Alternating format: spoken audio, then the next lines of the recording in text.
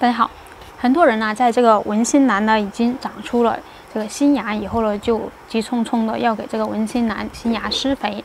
那么这是一种非常错误的做法，为什么呢？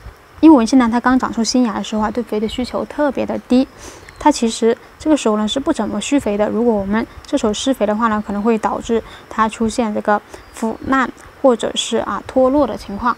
我们想要施肥的话呢，大家一定要注意，一定要等到它的叶片呢已经展叶了，就像这样子，像这种新芽呢，它已经展叶了之后，我们才能够给它施肥。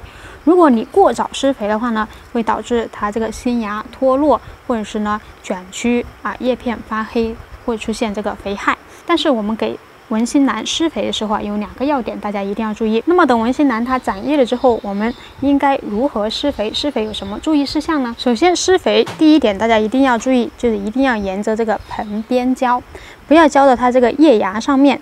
如果浇到叶芽上面，或者是流到叶心里面的话，会导致叶心腐烂。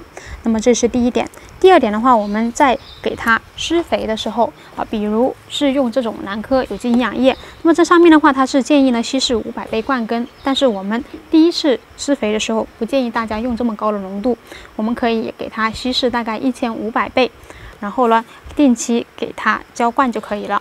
等到大概过半个月左右，我们呢再增加这个浓度。然后慢慢慢慢的把这个浓度呢增加到一个正常的用量就可以了。所以呢，文心兰在刚长出新芽的时候，大家一定不要着急给它施肥。好了，今天就分享到这里，我们下期见。